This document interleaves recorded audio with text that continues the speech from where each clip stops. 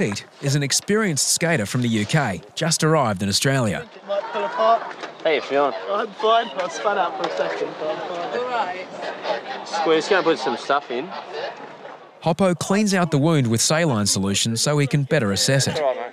That best be water and not blood going down. Yeah, that's all right, mate. he just hit a little bit of a wet patch and he kind of just completely KO'd and hit his head pretty bad. You might have a little bit of con- delay concussion as well. Yeah, I'm pretty spun out actually. So it's just a bit. We're just going to put this bandage on now. yeah, yeah. All right. I was about 20 foot in the air, grabbing my board, came down head first. While Pete is remarkably upbeat, Hoppo is concerned he's done more than cut his head open. So what do you remember, like when, from the time you were skating yeah, to now? Do you remember much? Trying to work that out. Uh, oh, f- sake. Uh, I need to go recap my memory. Then have a Yeah. So that's the problem. So that's the problem we've got. See. So something's going on in your head because you don't really, you- you're not sure. Bleeding inside the skull, a subdural hematoma, could put dangerous pressure on Pete's brain. Really concerned actually. He's um, lost lost the plot a bit, so I think we just got to get him to hospital and get him checked out pretty quickly. Do you still know what day it is? Yeah, know it's uh, Saturday. Saturday. Yeah, Okay. it's not, is it? No. No. So you, space you had a guess. Yeah. He arrived two days ago in Sydney. Um, pretty bad start to his holiday. As they wait for the ambulance, Pete's memory shows no sign of improving. What about now? You got any idea what day it is? Yeah, it's uh, Saturday. Saturday. It's not, is it? No, it's not. No. It's probably a good idea if you bumped your head. A brain scan will determine how long Pete's Australian adventures are on hold. Chapo and Dunstan have been called to an accident in the skate park. Eden is 10. He's drifting in and out of consciousness after hitting his head. So what I'm going to do is, mate, I'm just going to lift your head. okay. Yeah, just that'll just make it a bit more comfortable for you, mate. Despite the warnings, Eden wasn't wearing any safety equipment. Lifeguards take a head injury very seriously. He didn't have a helmet on, but um, he dropped in and he, he, he went back like that. He flipped at the back of his head out of it completely. His head just sort of bounced off cement. And he was just out, just like that. You can move all your fingers, and there's no fing- there's no tingliness there. Nothing tingly. His spine appears okay, but being dizzy and nauseous is a bad sign. Now, his mother has just found out. Maisie is a nurse and knows how serious her son's injury might be. Lifeguards are reluctant to move him as they wait for paramedics. You hit your head twice, right? A, a, a helmet is a really good thing to have. Get mum and dad to buy. Got a nice big bump over there. Any pain there, mate? Nothing? I'm just going to keep on going all the way down your spine. Any pain there? Eden's cognitive functions are examined. The blow to his head has affected his memory. You can't quite remember some reasonably basic things. 12, you should remember it's Saturday, it's the weekend. Particularly as we're just going back, you've just gone back to school, haven't you? Uh, yeah. I know what a head injury can do, and and I was I was just relieved I didn't see a lot of blood. That's all. But that, that doesn't mean anything either because it could be internal. So we'll just wait till we get to the hospital. One, One, two, three. He'll, he'll go and he'll probably have a scan. He'll get he'll have a physical, and hopefully there'll be nothing wrong. He's probably had a big fight. He's going to have a big lump.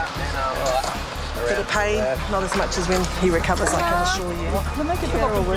X rays and scans will later reveal Eden has a hairline fracture in his skull. He'll spend a week in hospital recuperating.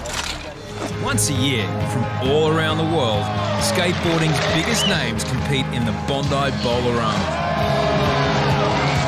Old hand Sergie Ventura is among the major crowd pullers. This year, he has high hopes of a podium finish. Late in the afternoon, an accident is reported in the bowl. Ambulance, he's bleeding. Hey, please. Bleeding. Ambulance. Ambulance. Sergie Ventura hasn't moved since cracking his head against the concrete.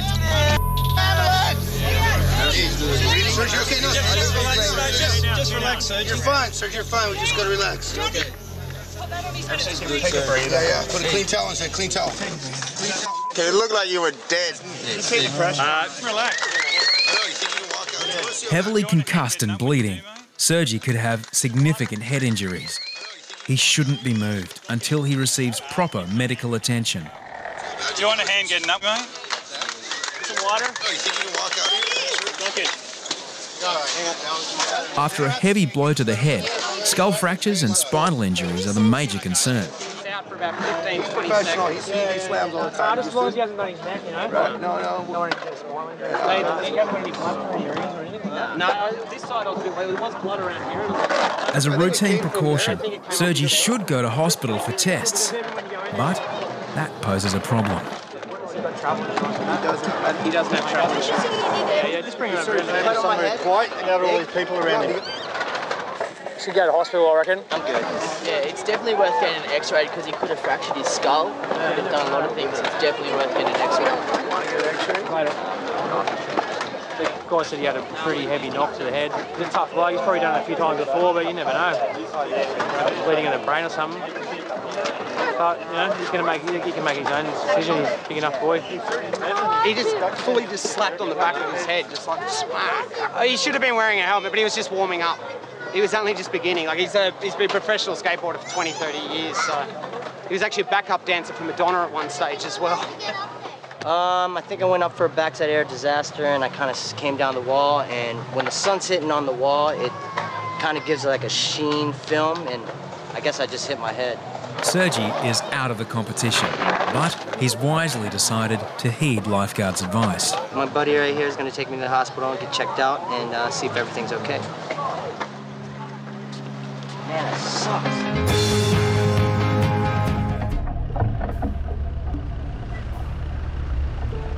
When a young boy comes to the tower covered in blood, I know what it's like. I had my fair share of skateboard stacks when I was young. You're scared. Let me have a look. You're good? Thomas from South Africa is concerned he's done more than split his scalp open. It's not broken my skull, is it? it Hasn't broken his skull, no. You got a little crack though. He's got blood literally coming over his eyelids, and he's he's concerned. I want to have a look at the cut and be like, Thomas, mate, it's all right. It's a lot of blood. Make him feel good. There's a lot of blood. And so don't, it's not as bad as the blood makes it. Need a helmet, man. What happened? Sad to get your helmet this year. I'll patch it up for you. So we just mummify up our patients and, until they can get to the doctor. Does that feel all right? After witnessing countless injuries, very few lifeguards are willing to try their luck in Bondi Skate Park. Unless you know how to skate and you're Tony Hawk, stay away from it. I've broken both my elbows skating. I've knocked myself unconscious a few times. Some of those injuries are absolutely horrific. I would not have the guts to do that.